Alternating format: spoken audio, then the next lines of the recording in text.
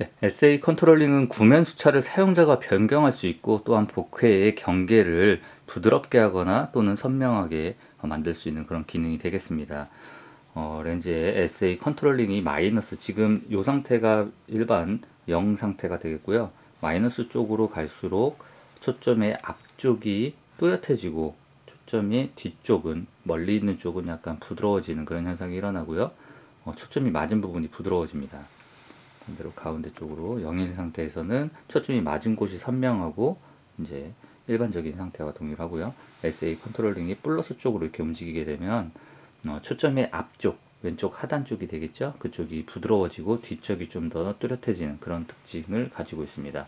이런 것을 통해서 이제 구면 수차, 수차 자체를 줄일 수도 있고 어, 보케의 경계면을 사용자가 임의로 결정을 해서 사용할 수가 있고 어, 이러한 매크로 촬영뿐만 아니라 인물 촬영에서도 소프트 포커스 기능이 들어간 렌즈처럼 어, 활용하는 데도 사용할 수 있다는 것이 또 하나의 특징이 되겠습니다.